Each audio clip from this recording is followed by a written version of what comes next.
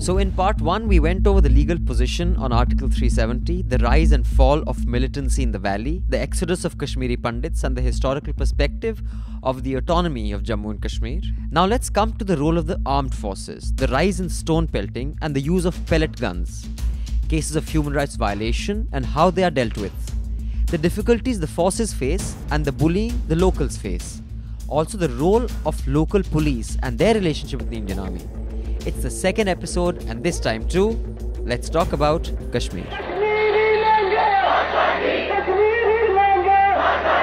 Is that a legal option, Azadi? Everyone wants it, from the journalists to the stone pelters to हमारे जे के कन्हैया कुमार सबको चाहिए क्या चाहिए आज़ादी Is Azadi even a legal option? Azadi is not a legal option. Azadi can only be won so-called freedom fighters militarily defeat the Indian army the way the Bangladeshis defeated the Pakistanis with the help of the Indian army or the way the Eritreans defeated the Ethiopians. You have people running in the streets there. If you were to individually call them and say, Beta, what is it that you want? He will be he will be ill at ease to define that objective to you. Anyone can see that it's very clear. We do not want to be part of the Indian state. We are not part of the, in, of the Indian state. And the sense of not wanting to be part of India you will find in pretty much every voice you hear on the ground. If there are ones that do want to be part of India, you don't hear them. I do believe there are some, but it would be hard to be vocal with that position in the valley. The shooting to death of Burhan Wani by the Indian forces on the 8th of July 2016 led to massive protests in the valley. Burhan Wani's funeral saw almost 200,000, that's 2 lakh people flocked to the streets of Srinagar.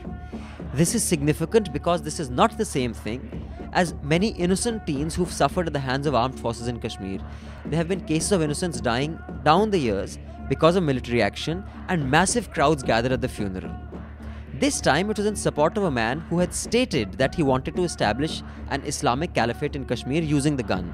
He was a commander of the Hizbul Mujahideen, like full legit. This is not a rumor or a Twitter type fact, it's a real fact. How did it get to this? How did a man like Burhan Wani get such sympathy in the valley? Here is Colonel Chadda. Like uh, some of the boys who we've spoken to in Kashmir, they say we are picked up, no FIR is lodged. Like we are kept in a thana for a month, slapped around, and then sent That's home. the point that I'm making. It's not the army which picks them up. Correct. No, it's uh, now, the local police. Yeah, but now, is, now the PSA is the Public Security Act.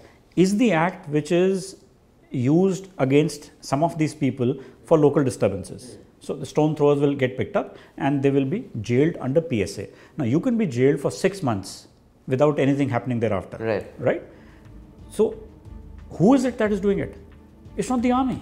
It's not the RR. They're not involved at all.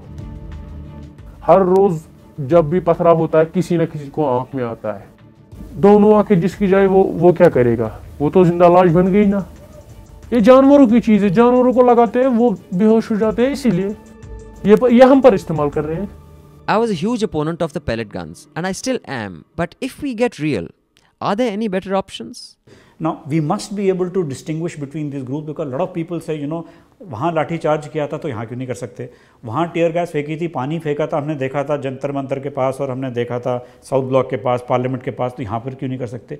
You have to realize the differentiation of these different groups this is a mob which has lynched policeman this is a mob from within which grenades ज़मीन hurled this is a mob which has thrown a vehicle with the driver into the Jhelum leaving, leading to the death of that driver. They have ripped up off the doors of bulletproof bunkers.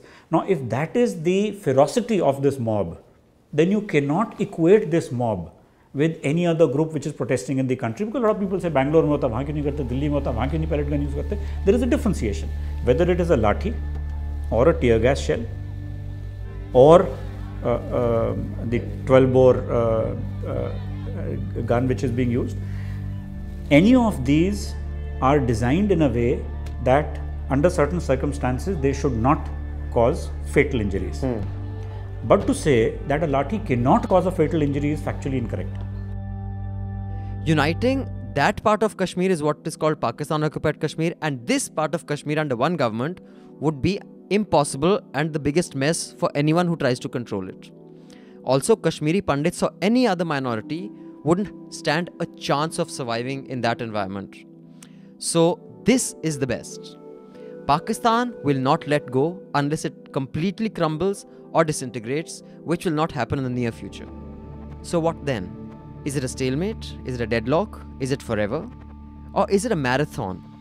And that country or party that can stay the longest and take the most punishment and take the biggest beating but continue holding on will finally be able to resolve this.